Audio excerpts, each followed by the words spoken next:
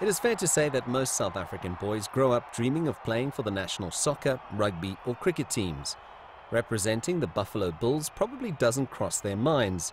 That could well change in the future as Gerhard de Beer, born and raised in the Rainbow Nation's capital, closes in on a multi-million dollar a year deal in the NFL. The NFL is one of the most physical games that exists. It's one of the most complex games that exists, and it also requires some of the most teamwork that exists in any kind of sport there is.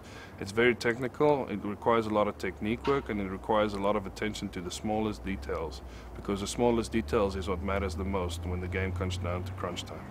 Winning bronze in the discus at the World Junior Championships in 2011 secured a scholarship to a US college.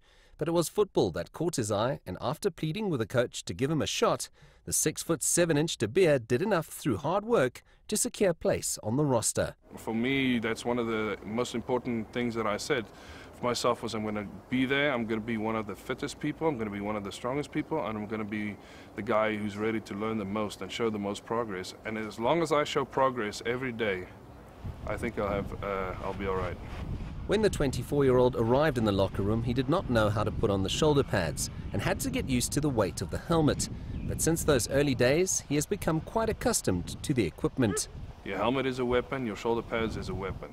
Everything you wear is a weapon. So, and it, and it protects you, but more importantly, it inflicts physical pain on the person next to you. And I actually enjoy that part of the game, you know, about hitting somebody really hard. De Beer boasts a degree in economy and industry, and although he has the option of falling back on his studies or track and field, his burning desire is to forge a career with the Buffalo franchise. He knows he will need to work his socks off in the rookie camp.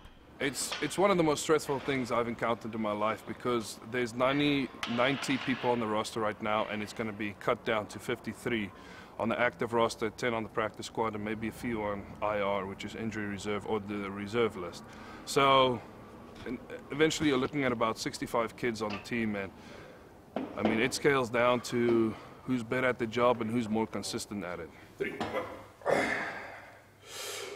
it's a culmination of five years of hard work. It comes down to hours in the gym in the next few weeks, where Gerhard de Beer is hoping to impress his employers to prove that he belongs in the final 53 at the Buffalo Bills. Sias du Plessis, CGTN, Pretoria.